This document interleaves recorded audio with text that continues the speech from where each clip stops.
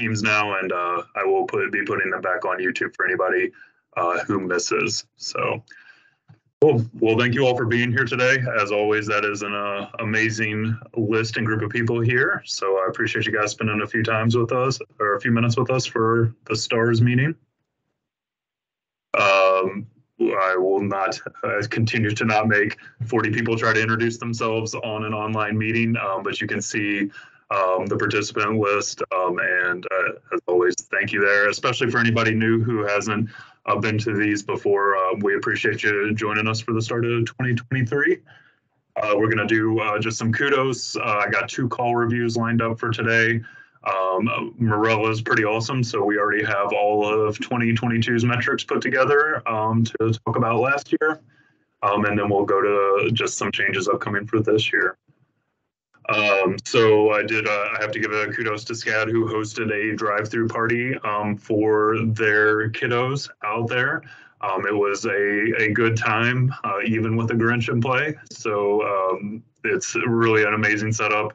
Um, I certainly encourage uh, any other districts who are, if you're trying to think of some things to do, or if you want to come up with an event, um, whether you want to ask me how SCAD does it or go talk to our friends over at SCAD, but they do have a drive-through, um, which really works super well for the families and and is probably something that could be replicated um, at other agencies if you want to try something like that. So um, kudos to you on that. Um, uh, kudos to, to MedStar. Just they had a, a good call um, and they really focused on like some early activation and communicating. Um, with uh, you know all parties involved, making sure the hospital was aware uh, early on a kind of a sick case. So it was just uh, really well done on their part. Um, and then I, I, I don't know if I'll ever be able to go a month without thanking Union EMS. Um, but uh, they did a phenomenal job, as always, of managing um, their super sick star that they have in their area um, as he continues kind of uh, evolve with his, de- uh, his disease process and get sicker. So, uh, we're going to do a, a, call review, um, just a kind of a short one here um, for one of our stars. Um, this is a both call reviews are actually seizure calls today, um, but this one uh, you can see we got a morning call. Um, they did have a super long transport time. Um, they bypassed several hospitals to drive directly to us, and so some things that just you know stood out to me um, you know once again that atypical seizure presentation um, where we're not sure all of our providers would look at this and be like oh yes that kid is seizing for sure or not. Um, and so um, some deferral to mom. Mom confirmed yes this is what it looks like. Um, and then um, you know they proceeded to treat kind of a theme. You'll get out of both of these two but uh, it kind of you know it strikes me that we spend a lot of time training to be the initial care providers but in a lot of these um, situations with our kiddos parents have already rendered some treatments. In some ways that it looks more like a transfer right? Like you show up and people are already doing stuff.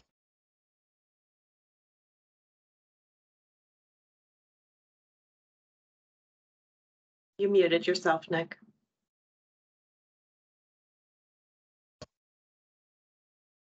Huh that's interesting. An amazing mouse click, apparently. Um, so they, uh, sorry about that.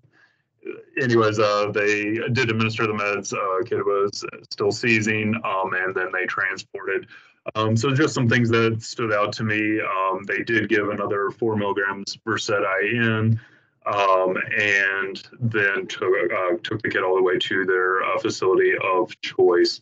Um, kid did stop seizing. Um, once again, kind of deferred to mom with that. Like I'll once again just reiterate, you know, like that's really tricky when even mom's not sure if he's still seizing or not, and just kind of deferring to that caregiver. Um, and so uh, that was kind of just well done on their part. Um, anyway, they I, I thought a well run call, um, and they did a good job.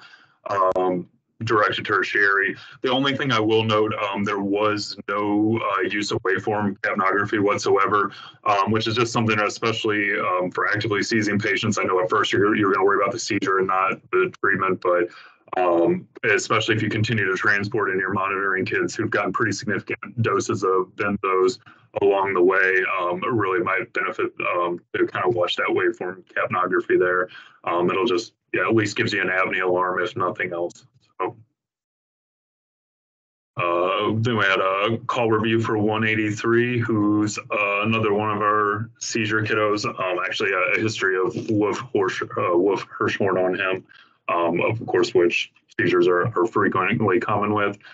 Um, and so this young man also lives a, a pretty good distance. Um, they had a long transport time um, with this kiddo. Um, once again, dispatched for an active seizure. Um, family kind of says, hey, you know, has this been going on for 20 minutes? Um, he also has a fever. we've been giving him all of his home emergency medications. in fact, I believe family was in the middle. They were going to transfer themselves um, but then just got kind of concerned um, with him continuing to seize. They didn't want to put him in the car um, and drive him themselves. So uh, they did activate 911. Um, and so the father kind of reiterated the care plan to them, um, but um, unfortunately the service run this a few times, but they did try another dose of Versed first. but the family in this does run the home. It is one of the, the few situations where we have that in play. Um, and so they, uh, the crews grabbed the Keppra um, and did administer. It did actually take them a, a, few IVs. I believe it was four IV attempts before they got a successful one. Um, so they did do another dose of Versed in the meanwhile, and then um, then they finally got a line while transporting um, and gave the kid uh, his Keppra. So, Nicholas, um, we're anticipating, Collier County EMS is anticipating, we don't know if it's going to happen, but we're anticipating a shortage of Versed. And uh, apparently manufacturers are behind or whatever. And we're uh, laying the groundwork to substitute Ativan in place of Versed. Um, while I was doing studying that, uh, although we have the dosages okay, there's uh, there's the literature equivocates whether or not Ativan is a great drug to use intranasally. So if we were faced with um, no Versed and we were switching to Ativan, uh, is your team okay with us either using it IM or we we we certainly can still try intranasally, but I don't know if your team is familiar with using intranasal Ativan.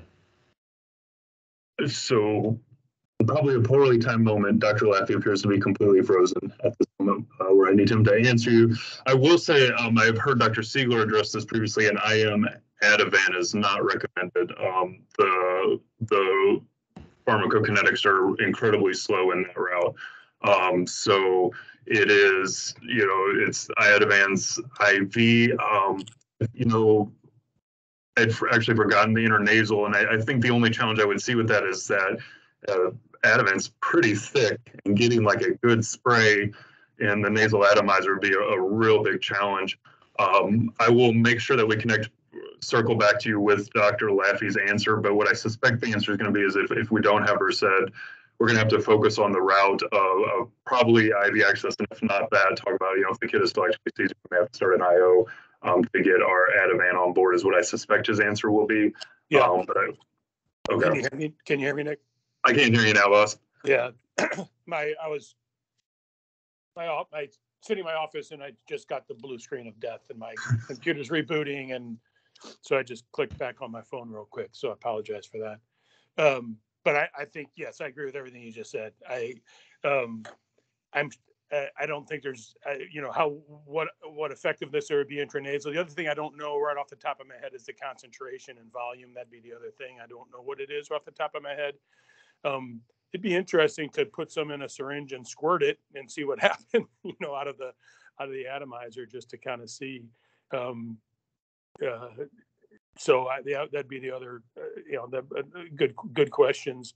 Um, well, we will we will make every effort to divert what midazolam um, we have in the system to these stars uh, children, uh, if indeed we uh, look like we're running out. We're just trying to lay the groundwork right now because we have very few backup doses left. Um, I don't know what, what happened to the manufacturing of this drug, but um, I will take that, uh, your recommendations. We will not, uh, create an alternative through, uh, IM Ativan, uh, nor will we do intranasal, and we will, if we, if we're in a corner, we will try to start an IV, but as you well know, these are tough IV starts. And, you know, an IO wouldn't be unreasonable either if he's, you know, if they're, if they're actively seizing. Um, that would be another thing to think about. Um, Dr. Lafferty, your, your voice just broke up, but I think you said it's okay to use IO if we have to go to that alternative. And if there's one thing I could recommend on that front, sir, is And that should be back. Sorry, Dr. Laffey, you're kind of cutting out pretty bad there. Um, I will say we just we've had a couple uh, a previous meeting where we discussed um, just uh, sometimes talking your providers through and coaching them through um, explaining IOs to parents a little bit. Um, just because in our experience, sometimes you know it, parents don't always have the like medical understanding side. Um, and they just view it as a completely barbaric act, you know, like, what do you mean you're like drilling into my kid's bones? Right, Um, and so sometimes just, you know, leading with like, hey, here are some ways you can talk to parents so that your newer providers, especially if they haven't had to have those conversations before, they kind of have that script for them a little bit ahead of time. The, the six or so, uh, patients that we have in Collier County has, uh, has STARS done any education of the uh, families about the possibility of intraosseous infusion or? I would have to, um, I would have to defer to, uh, the Golisano team on that. So, um, I certainly don't mind reaching out and asking them just kind of where they are. I know they're educating and rolling out, but I don't know Okay. what it looks like on the ground there. It certainly would facilitate our explaining that to the families that they had seen or heard anything about it before. And it's in our packets that we give to all the families too. Hey, Dr. Tober, it's Nikki. I know Angie's on, so we Hi, can talk more about this later too. So, so good discussion. Um, so uh, the kiddo did get his, uh, sorry, just to finish out this call review, kiddo did get his, um, Keppra, um, and then, you know, just some of the good, uh, once again, got the caregivers involved, um, obtained and administered a specialty home med. Um, once again, kind of waveform capnography was missing, which I noted. Um, also just, it, I know we always like have to deal with the major emergency in front of us, but some things that kind of stood out. As they said, this kid had a 1045, and there was just really no discussion of, um, you know, potentially trying to uh, cool him down at all. And then just, uh, just a smile noted, not to be a the harsh QI officer, but I mean, you got 38 minutes of patient care on a sick and critical kid, and there were only two sets of vital signs. So, just always that thing that stands out to me. Um, All good reminders. Awesome. Um, so I think I kind of already talked through the, the talking points as we did them, but just um, kind of some things that came through both these calls. Um, you know, using the caregivers and and just sometimes that challenge that care has already been rendered prior to your arrival. So kind of keeping track of you know what that is and the effects of that. Um, both of these were direct to tertiaries with over 30 miles of transport on both. Um, so I thought that was good. Um, and then we discussed the capnography. Um, I just wanted to address, um, we had one district just kind of, um, uh, question us real quick when we reached out for a trip sheet. And so, um, I was just gonna, uh, remind and point out to everybody that when we have the parents sign the HIPAA waiver, part of what we do tell them is like, hey, we are gonna collect information from 911 calls that do happen so that we can do QI and improvement and, and all learn from it together. Um, so please, if anybody ever has any questions or, or uh, concerns about that, feel free to reach out to me and I will give you all the paperwork and uh, we'll just, I just didn't want uh, districts to be surprised if, you know, somebody from a STARS team calls them and says like, hey, can we get the trip sheet uh, to see how that uh, 911 call went? Cool. Um, for our 2022 metrics, so this is um, current state today. We got 980 active stars. Um, for last year, we added a total of 284. Um, and um, you can see, I, I won't go too far in this. Emergency activation's kind of holding steady right around 100 per month um, there at the end. Um, and dispatches, um, we, did have more dispatches for the year um, and kind of ended right around, uh, I think it averaged around 20 a month. So um, I think uh, for just like maybe one or two more months, St. Charles County will get to be king of this list. Um, but Lee County EMS is, is hot on your heels. So um, I think they will pass now. In fairness to them, if we threw all of St. Charles or St. Louis County together, we probably could affect those numbers. But um, for all of 2023, so 310 911 transports that we're aware of. Um, the, you can see that um, over 70% of those kids did get admitted, um, and then uh, 20% did not. And then we had some unknowns um, in there as well, especially for kids um, transported to alternate destinations. Um, this number, you know, will continue to track over time here, but, um, you know, for those 310 calls, we saw 92% went direct to tertiary um, to their pediatric facilities. So um, I thought that was noteworthy. We'll kind of, as I discussed in a meeting with some of the other STARS people last week, you know, I we, we're just now tracking all these numbers, so I think this is an, uh, an excellent benchmark for the first year. Um, and then we'll just kind of keep track of what we think affects this in the future. Um, but I, I, as I like to say, like uh, 92% is an A in any classroom in America, minus if you're at a tough one. Um, we do look at kids who stop at outside facilities. Um, uh, we looked at 18 of those cases um, and just kind of measure the time that that kid is there until they get picked back up and transferred to their tertiary care. Um, and so, uh, and this could be, you know, 100% appropriate stop, right? Like if you are four hours from St. Louis, you might have to stop at a closer facility. Um, but we are just kind of trying to be aware of like, okay, if, if they don't get directly to tertiary, how long do they sit there? Um, and so the average is 3.5 hours um, for last year. Um, it's probably no surprise to anyone that of all the STARS calls, respiratory distress and seizure was the top two. Um, that makes sense because those are the two most common uh, for the general normies as well. Um, Kings Lake so- Pharmacy. oh no. Yes, Dr. Um, so other than that, um, sick cases was the other one that came in and you can see where a bunch of those would fall underneath a sick case description. We did look at the non-transports as well. Um, and so this is tran- non-transports by month and then just overall for the whole year by agency. Um, and then these were just some of the reasons for them. Um, and so there were um, some notable ones, and we've done some call reviews on some of those all along the way here as well. And I'll, maybe I'll try to pick a month where we'll just do non-transport call reviews as well to kind of look at some of those situations.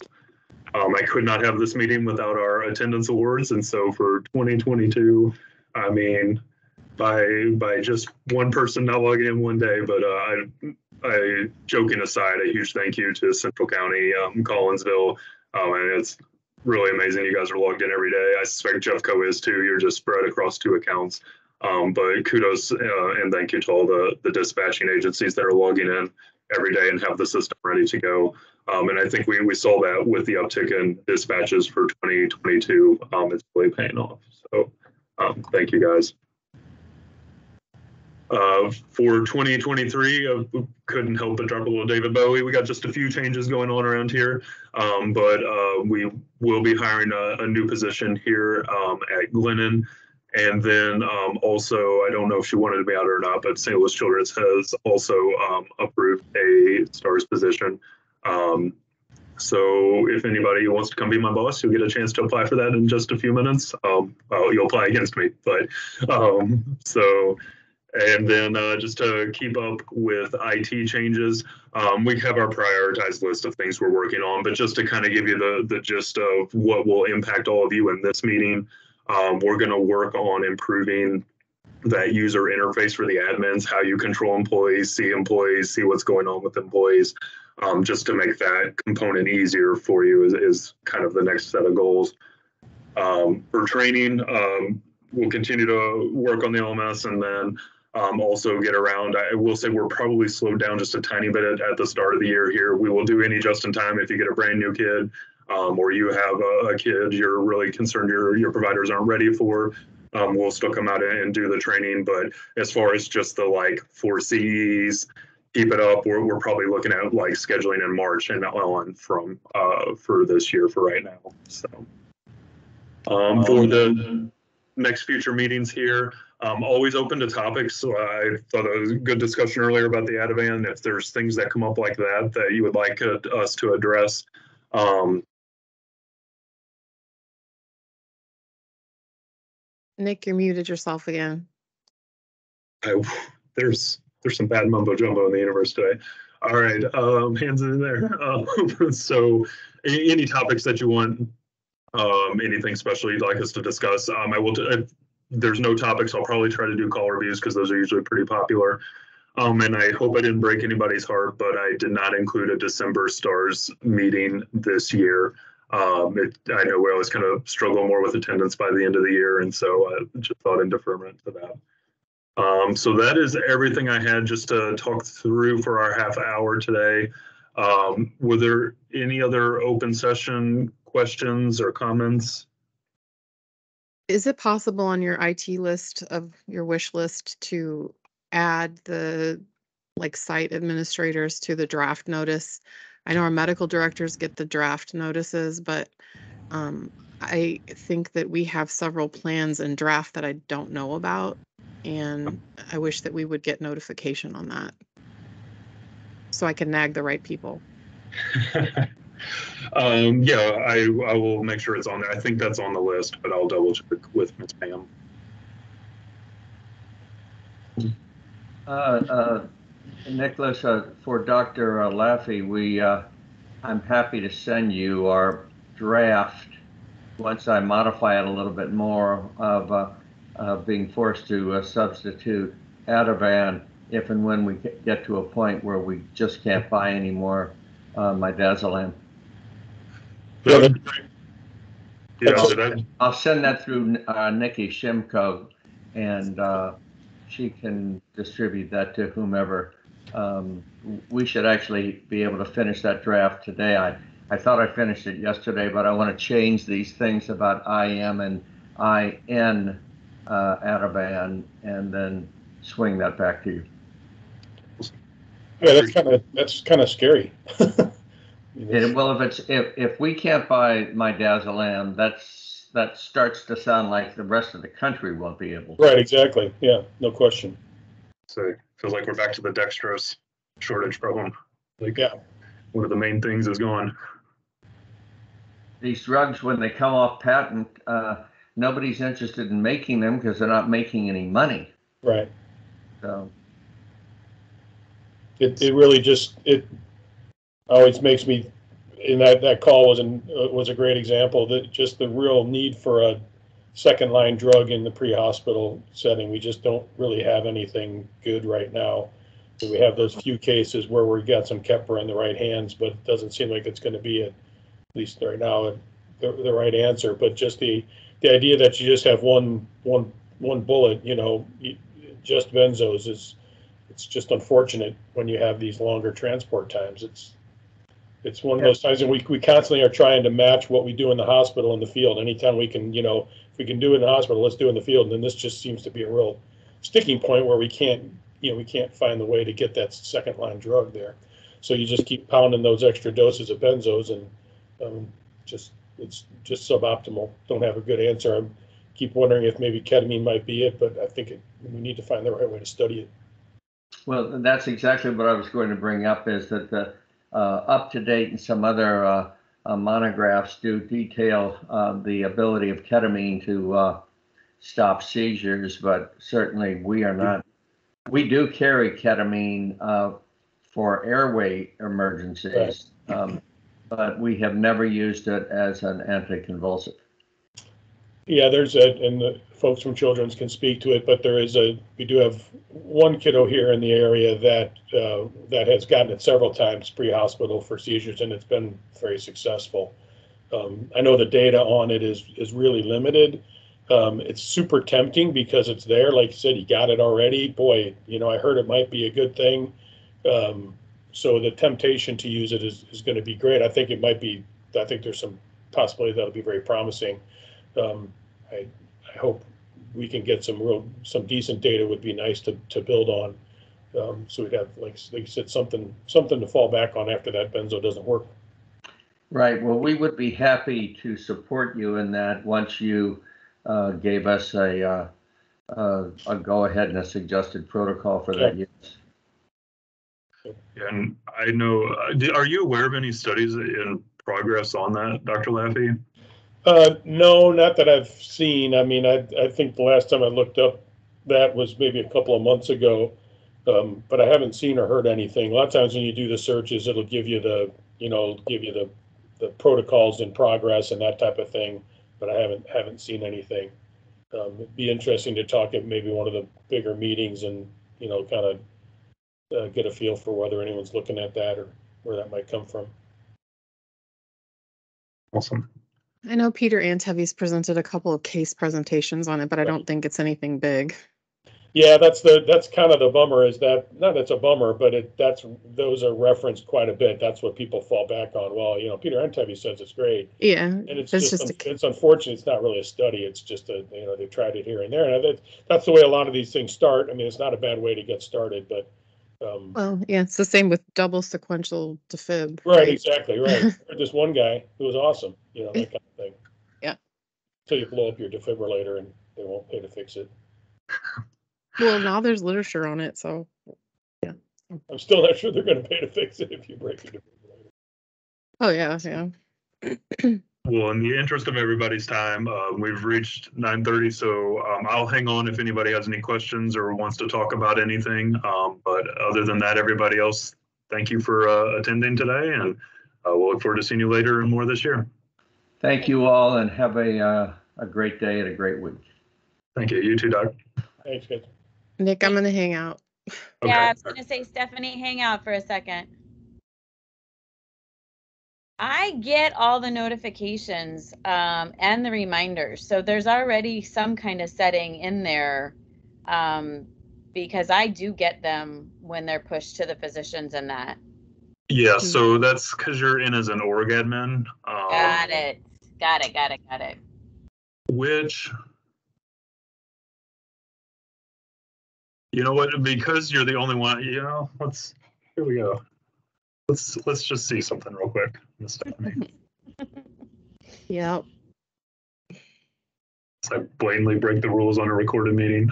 You could maybe stop recording. I was gonna say, stop recording then. Uh, There we go.